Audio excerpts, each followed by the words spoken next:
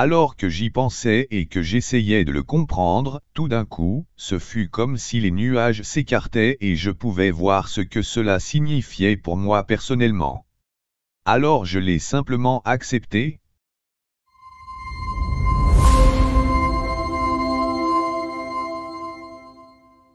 Lorsque des gens se convertissent au christianisme, est-ce vraiment une exigence biblique de faire un revirement spirituel?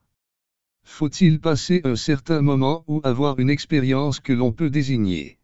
Je pense qu'il est utile de pouvoir se souvenir d'un moment, d'un point de référence où l'on a réalisé ce qu'est l'Évangile, ce qu'il signifie et que l'on l'a adopté que ce soit un bref moment ou que vous sachiez maintenant mentalement que vous avez fait la transition, c'est votre histoire personnelle.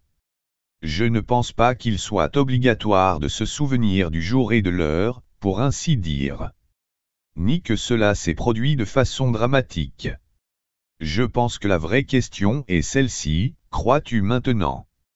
C'est une question plus importante que de savoir si tu peux indiquer un moment et un lieu spécifique où tu as eu une expérience de conversion. Pour certains, il est facile de se souvenir du moment, à cause de certaines circonstances de la vie dans lesquelles ils se trouvaient, ou peut-être de la vie terrible qu'il avait menée jusqu'à ce moment-là, ou d'une crise dans laquelle il se trouvait. Cela rend les choses beaucoup plus faciles, mais pour d'autres, il leur a fallu du temps pour comprendre l'Évangile et l'accepter. Peut-être avait-il des obstacles intellectuels à surmonter. C'était plus un processus qu'un moment, mais ils savaient qu'il était passé par le processus. Ils savent qu'ils ont fait la transition. Cela ne veut pas dire que la repentance ne fait pas partie du processus. Le repentir fait toujours partie.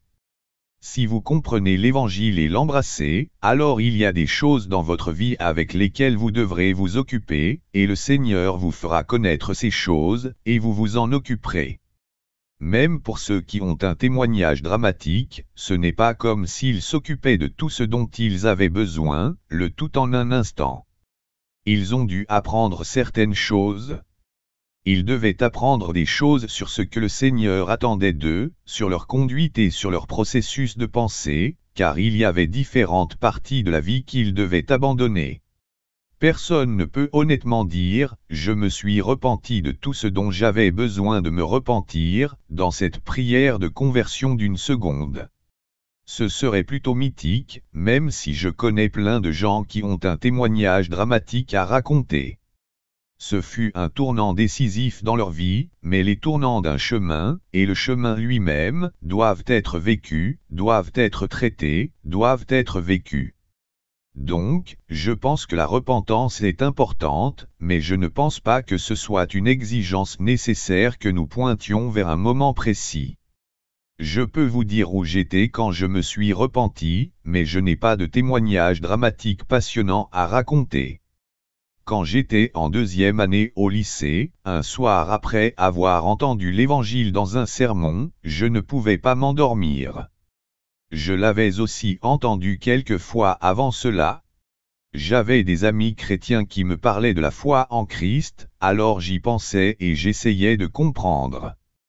Tout à coup, c'était comme si les nuages s'écartaient et je pouvais voir ce que cela signifiait je pouvais voir ce que cela signifiait pour moi personnellement.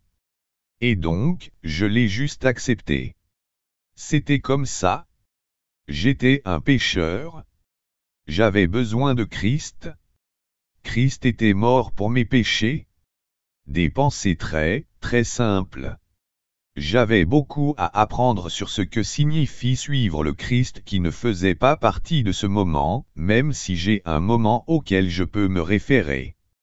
Cela a tendance à calorer ma façon de voir ces choses, même si j'avais d'autres amis qui avaient un témoignage beaucoup plus dramatique que le mien, mais je connais aussi des gens qui ont appris l'Évangile quand ils étaient petits et qui l'ont finalement adopté. Ils l'ont adopté, et c'est tout. Ainsi, pour beaucoup de gens, la conversion est un processus d'accès à la foi d'une manière plus ordonnée, d'une manière plus ennuyeuse, comme je l'ai fait. Même si les membres de ma famille n'étaient pas chrétiens, ma conversion était réelle.